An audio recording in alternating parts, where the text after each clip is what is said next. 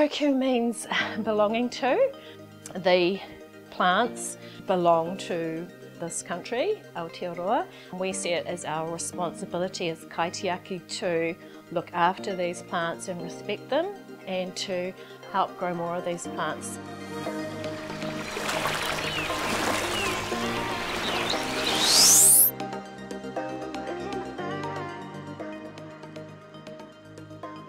The, the story of Oku, I guess, really starts with a personal health journey for, for me. I was born with a, a hereditary kidney condition, which by the age of 25, the, the kidneys had failed and I ended up on dialysis. And then in 2019, I had the third kidney transplant, which was an incredible blessing and unexpected um, blessing, and, and that was a, a life changer, game changer for, for not only for myself, but you know the family and, and, and really for the business and that as well. Just getting that freedom from, from dialysis and getting my health back again.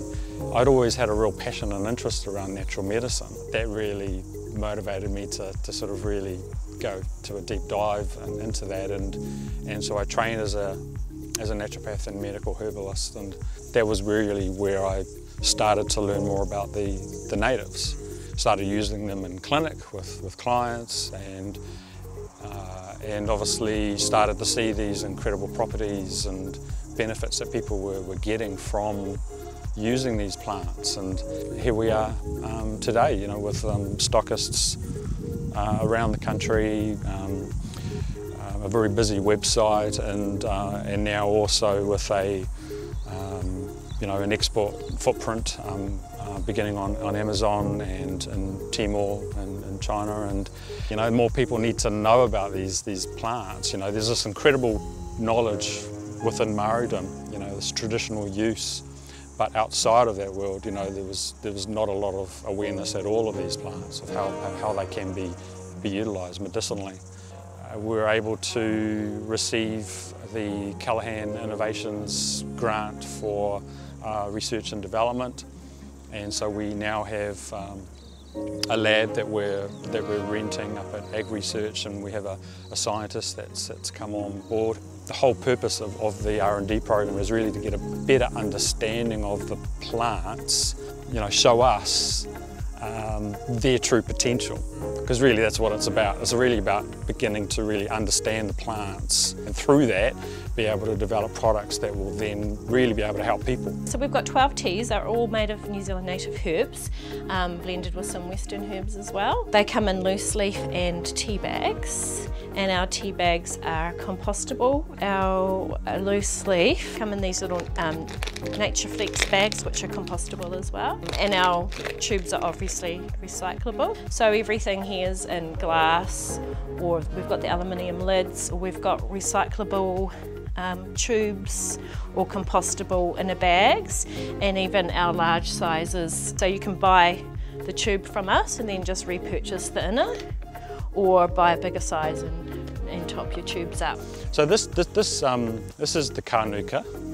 So I mean you can just take a strip off.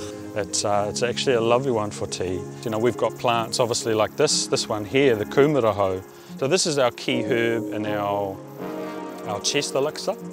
My whānau have used these plants for generations and they had a very, very close connection to these plants. What the knowledge that these plants hold, it would be a really a real shame to lose a lot of that knowledge. A lot of uh, you know, our tohunga out there have passed away. And I think for us it's really important to keep that kind of knowledge alive.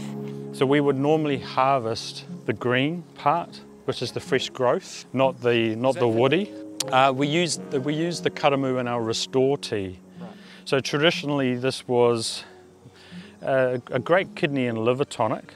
This is just an example of one of the harvests that we would do. So this has just been, been stripped off the stripped off the branches that we've harvested. So this is ready to, to hang to, uh, to air dry. And then once it's, um, once it's nice and dry and it's, you know, it'll be a nice crunchy consistency, uh, then that's um, ready to be processed down to a tea cut. So everything happens on site from basically from, from harvest to drying to processing to blending to end product being shipped out to, to the customer. You know, from, from our very sort of humble beginnings of, of just starting uh, at the farmers markets, you know, over 10 years ago, um, you know, we've, we've, um, we've come a long way, but I mean, we still see there's a long way to go to, to really be able to, to, to achieve what we've, what we've set ourselves to do. And, um, but very proud that we, we have been able to do what we've achieved so far, maintaining our integrity to our kaupapa. Um, you know, we haven't abandoned that and that's something that's kind of like our foundation and, and, and, that won't, we won't lose that because it's too important, you know, for us. So I think that's, that's a key thing. We're passionate about this country and we are particularly passionate about the plants that grow in this country and um, the uniqueness of these incredible plants. And because, yeah, they're oku, they, they belong to, to us and they're here for us to, to care for and to respect and to learn from.